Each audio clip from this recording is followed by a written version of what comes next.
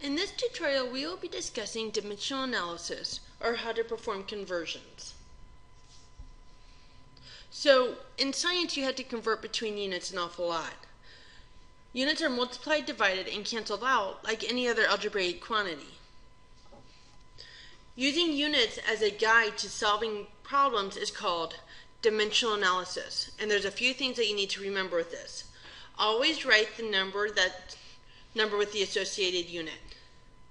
That keeps coming up over and over and over again. You need to write your units. You cannot be lazy with those. Always include units in your calculations, dividing them and multiplying them as if they were algebraic quantities. And do not let units appear or disappear in calculations. Units must flow logically from beginning to end. So the very first thing you want to do is figure out what you have and what you want. So here, what I have is three kilograms. What I want is to know how many ounces there are. Once I know that I'm going from kilograms to ounces, I can look for conversion factors that go with it.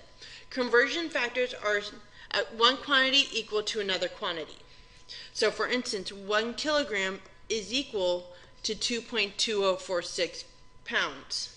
One pound is equal to 16 ounces.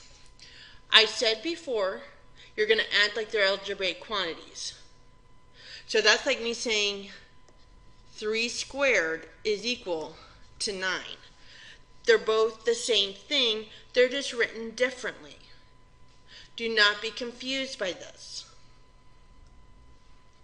Write the given number you have as a fraction over 1.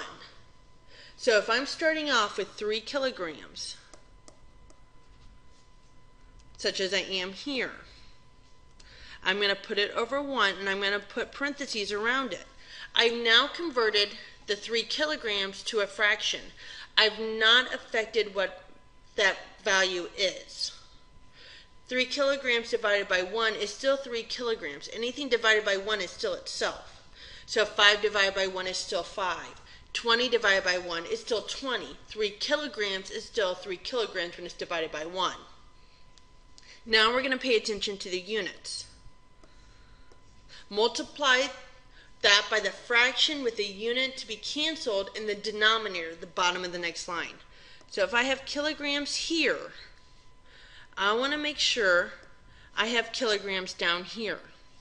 Anything divided by itself is equal to 1.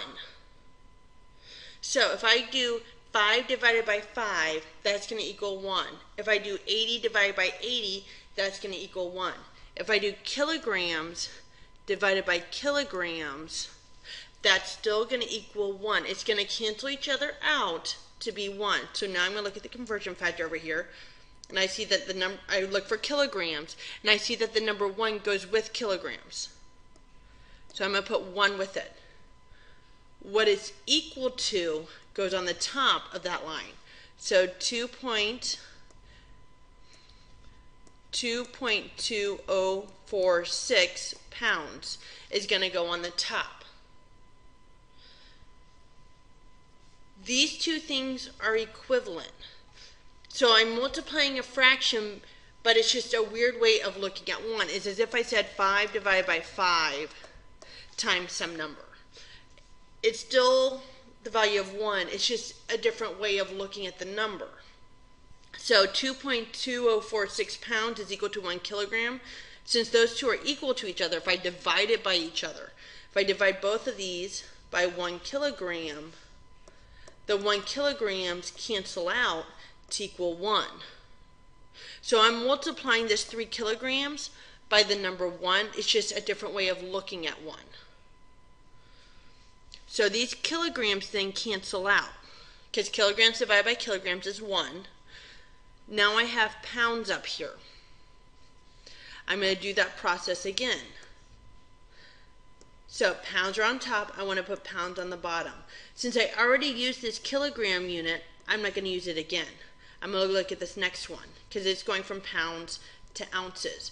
Where you're going from is always going to be on the bottom. Where you're going to will always be on the top. To top. Maybe you can remember it that way. So if I have pounds, I want to look at my conversion factor and I find the word pound and I note that it has one. That is equal to 16 ounces. So that's what I'm going to put on the top. Once again, because pounds divided by pounds is equal to 1, that gets canceled out. So the final calculation, when you put it into your calculator, will be 3 times 2.204 times 16. If we were to multiply other fractions,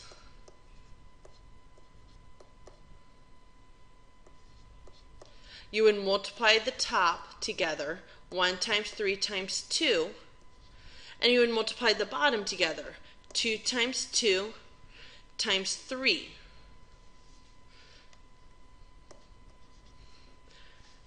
That's the exact same thing you're going to do here. You're going to multiply the top together, and you're going to multiply the bottom together, and then you're going to divide the two.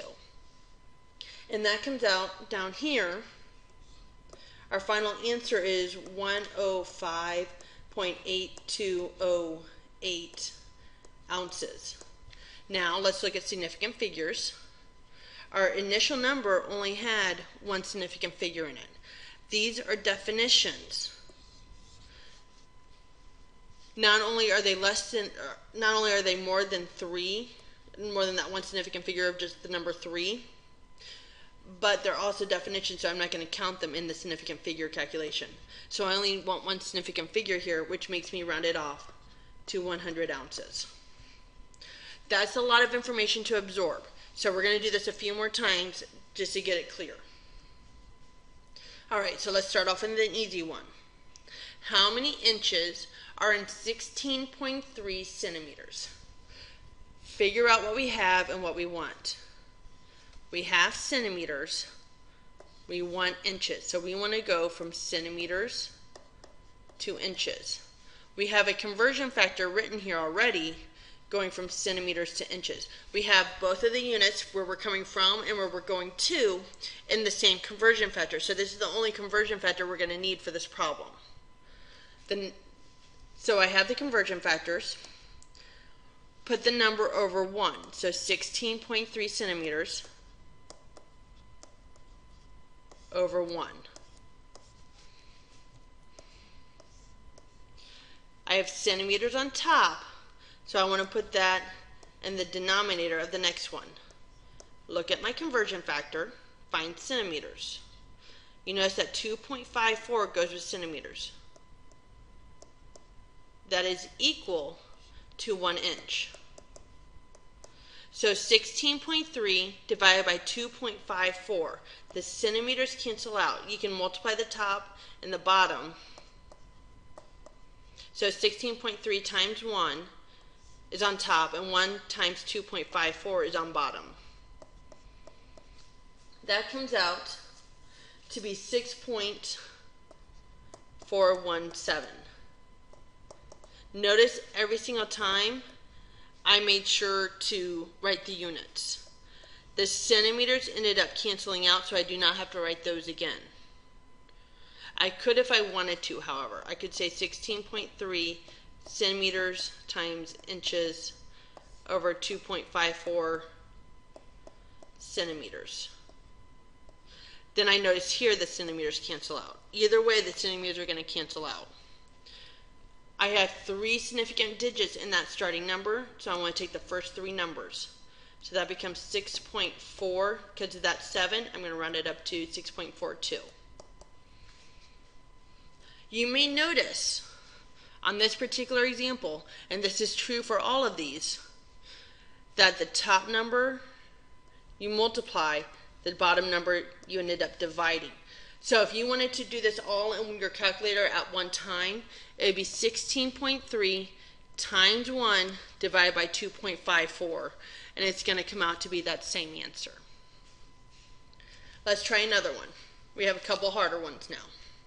How many feet are in 0.4734 kilometers? We're going from kilometers to feet. In order to do that, I'm going to have to go through another unit because if I have kilometers here, they tell me how many yards. Well, that means I need to get to feet, so that means I need to figure out how many feet are in a yard.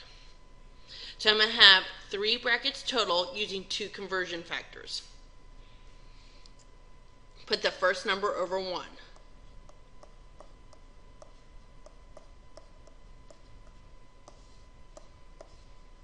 I have kilometers on top. I want to put kilometers on the bottom of the next one. Once I have the unit there, I can go back and look at my conversion factors. And I notice that 1 goes with kilometers. And that is equal to 1,093.613 yards. The kilometers cancel to equal 1. I'm going to cross this out now so I don't confuse myself. I have yards on top, so I'm going to put yards on the bottom of the next one. 1 goes with yards, and it is equal to 3 feet. Now the yards cancel. So, if I were to put this all into my calculator at once, it'd be 0.4734 times 1093.613 divided by 1 times 3 divided by 1. You may need to put your equal sign in between those depending on your calculator. That comes out to be 1,553.149. I have four significant figures in this number. The zero does not count because it's a leading zero. So I'm going to take the first four numbers here. So 1,553 feet. We're going to do one more. And this one, there's two different ways to go about doing it. We are dealing with cubes now. So volume, which is a derived unit. We have yards to cubic feet. We know that we have three feet in one yard. We've seen that at several different times now. However, this is for a single foot, and we have cubic here. There's a couple different ways of going about doing this. One way is if you separate out these yards cubed. So 1.2 yards times yards times yards. That means I need to do this equation three times. So, in one yard, that's three feet. I can cancel one set out. I have two more up here I need to cancel out. So one yard is three feet. I can cancel another set out. I have one more I want to do. One yard is three feet. So that means I'm going to do 1.2 times 3 times 3 times 3 which then comes out to be 32.4. Because I have feet times feet times feet, that's feet cubed. The other way of going about doing that is if we cube our conversion factor itself. So 3 cubed will be 27. Feet cubed is cubic feet. 1 cubed is 1. 1 times 1 times 1 is equal to 1. Yards cubed is yards cubed. I can put this into the calculation now by saying 1.2 yards cubed and then look at my new conversion factor here. 1 yard cubed is equal to 27 feet cubed. So those automatically cancel out all of them at one time to bring me to the same answer. Now that we know how to do the conversion, let's look at the significant figures. We have 2 in the initial number. That means I'm going to have 2 in the answer. This is a definition, so therefore it doesn't count towards the final significant figures. So 32 feet cubed will be my final answer in both scenarios because I only want two significant figures. And that's how you do dimensional analysis. There's really no shortcut method to this. It's just practice, and the more you practice, the better you're going to be.